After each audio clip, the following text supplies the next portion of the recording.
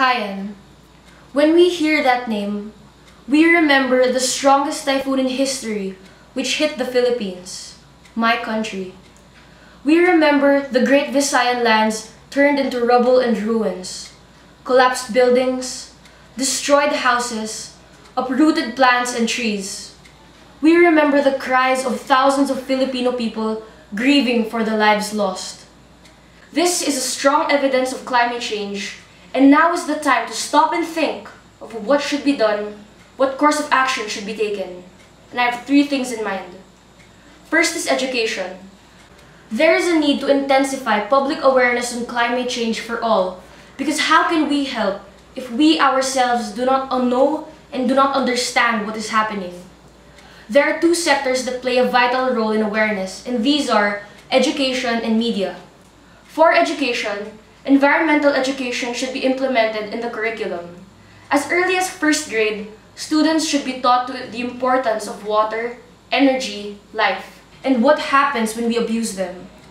In St. Theresa's College, Quezon City, Philippines, I am a student in the Advanced Environmental Education class, and I can proudly say that I have learned a lot and it is time to voice out precisely why I am here. For media, we often turn on our televisions and we see people endorsing different products. How about in producing shows, short clips, or infomercials of any kind, the environment is a factor that should be considered. It would be a form of regular art that is featured by the viewer. It's a win-win. They would love your product and they would love the environment. Second is conservation. This is to address the issue of the technocratic paradigm discussed in Chapter 3 of Laudato Si, where Pope Francis stressed the tendency of humans extracting all possible resources from the environment without giving them the chance to be replenished. Government policies and laws should be enacted, whether it be for the conservation of water, energy, and the like. There should be concrete action. For example, the air conditioning should be turned on from this time to this time only. Another example is one of our school projects in St. Theresa's College, the rainwater catch system.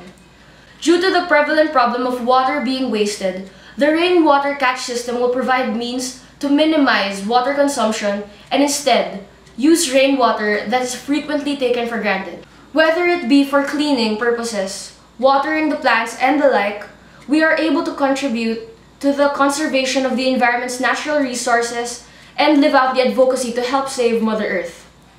I am very lucky to be a student of St. Theresa's College, Quezon City, integrating this kind of activity and I hope all schools around the Philippines and even on a global level can do the same nature. As advised by the Department of Environment and Natural Resources, the vast majority of water on the Earth's surface, over 96%, is saline water in the oceans. The freshwater resources such as water falling from the skies and moving into streams, rivers, lakes, and groundwater provide people with the water they need every day to live. As part of the DENR Committee on Conservation Water Resources, we are to inform and demonstrate to the people on how they can help conserve Earth's water resource through the accumulation and deposition of rainwater for reuse on site rather than allowing it to run off using rainwater harvesting collector. The rainwater catch system responds not only to the call of the Department of the Environment and Natural Resources, but also to the encyclical Laudato Si, written by Pope Francis, which emphasizes the immediate need for the environment to be safe. In the first chapter, Pope Francis tackled the issue on water, saying that water continues to be wasted not only in developed world, but also in developing countries, which possess it in abundance. This shows that the problem of water is partly an educational and cultural issue since there is little awareness of the seriousness of such behavior. Due to the prevalent problem of water being wasted, the project will be able to provide means for the school to minimize its water consumption and instead use rainwater which is frequently taken for granted. We are also able to address the issue of technocratic paradigm discussed in chapter 3 of the encyclical, where Pope Francis stressed the tendency of humans extracting all possible resources from the environment without giving them the chance to be replenished. In our undertaking for this project, we have delegated different committees that specialize in different tasks. First is the design committee. The design committee is in charge of the overall design of the rainwater catch system. Next, the building committee. They are the overall formers of the structure of the rainwater catch system. Another committee is the Finance Committee. They are in charge of the budgeting for tools and equipment that will be used for the construction. We also have the Write-Up Committee, which, as the name suggests, the committee that writes the written report about the rainwater catch system. And lastly, we have the Documentation Committee, which is in charge of everything that has to do with the photos and videos during the duration of this project.